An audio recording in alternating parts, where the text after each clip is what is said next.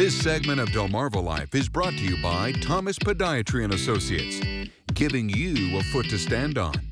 You know, we sure do ask a lot of our feet.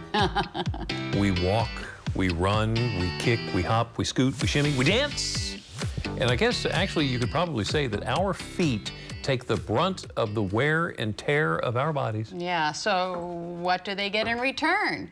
Well, if you want to keep your feet fit and healthy, you should make sure they get some extra love and attention, especially this time of year. It's time to get those dogs out and let them breathe, but not before you give them a little TLC. This time of year, we've been in their shoes and socks, and we really haven't paid much attention. Now they're out in the open, so Now's the time to clean them off really good. Dr. Kevin Thomas of Thomas Podiatry says pampering your pets should include the following steps soak, exfoliate, buff, trim, and moisturize. Keep in mind, you want to be tender with your Tootsies. Just a simple pumice stone or file when you get out of the shower or get done soaking, the skin's nice and soft. Just a gentle, gentle motion. The saying I like to use with patients is you're just filing your skin, you're not grating cheese. Next, it's time for inspection of your feet.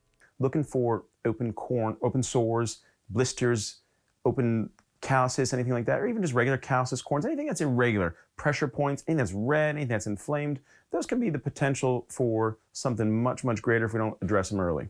Your inspection could reveal the classic signs of fungal infections. So usually it starts with some redness, some itching, minor blisters, can actually be a little burny, stinging sensations. If everything checks out, Dr. Thomas says it's okay to polish your nails to give your feet some flair. I am a firm believer of if you want to make your nails look pretty, absolutely go for it, but follow some certain guidelines. If your nails aren't that healthy, and you can check with your foot doctor if they are or not, I don't recommend polishing them. If they're not healthy, try and stay away from polishing them because you can create more problems. Additionally, if you do get them polished, whether you do it yourself or go to a salon, don't leave the polish on for extended periods of time. Maybe a week, maybe two, and then after that, take it off. Gives you excuse to change colors or go get them done again. When it comes to summer shoes, Dr. Thomas says they need a good inspection too. If you've had them for the last five, ten years and they feel really good, they might be worn out. So if they're worn out, throw them out. They're not doing your feet any good. Secondly, inspect them for any loose seams. Also, inspect the soles, sometimes the inside and the outside. Sometimes we need to give them a good cleaning, sanitizing, things of that nature. Dr. Thomas adds, this summer you may want to rethink sacking the socks. We change our socks and wash them. We don't wash our shoes every day. So when your foot's in bare contact with your shoe, either A, you need to wash it daily, or when you take the shoe off, or B, just wear socks. Something else that could help your hooves, inserts. Oftentimes we're in situations where we need to wear certain shoes that may not have enough support, mm -hmm. but there's ways around that that you can actually make the shoe very supportive. So I'll show you, for instance, I'm wearing a stylish loafer style shoe, very common in a beach environment. Mm -hmm. And in theory, this does not have much support. Now, one, I am wearing a sock with it, but two, I also have an orthotic with it.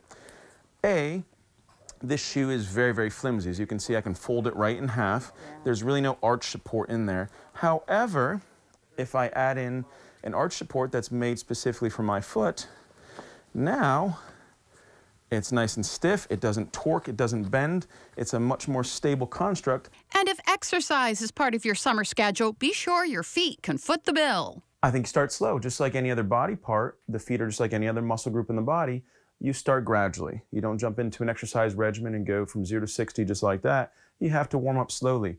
Start with slow stretching, deliberate exercises, pace yourself slowly, and listen to your body. Because summertime is not the time to cool your heels on foot care.